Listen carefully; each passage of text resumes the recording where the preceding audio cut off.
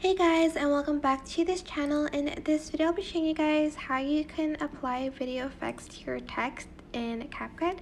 Go to new project and go to stock videos and I am just going to add in a black background. You can also add in like a white background if you want to. And you are going to go to text, add text and you are going to just type in anything you want. I'm just going to type in random.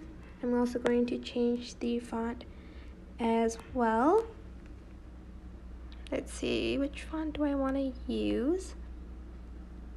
Um, maybe this one. You can also change the like effects as well if you'd like to. Something like that.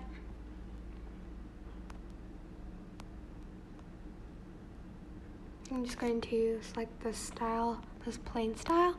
And when you're done, you are just going to press the export button.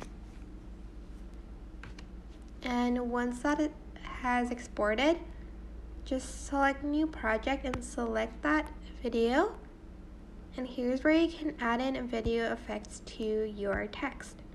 You can add in this blur one or this one. It is up to you. I'm just going to press the checkmark button for this. And then you can add in more effects if you want to, like this one maybe. Or what else? But yeah, that is basically it really. I hope this tutorial is helpful for you guys. Don't forget to like, comment, share, and also subscribe to this channel if you haven't done that already. If you have any questions, just leave it in the comment section down below and I'll try my best to answer them all for you guys. And if you found this video helpful, please click the thanks button above the description box down below. Thank you so much for watching. Bye!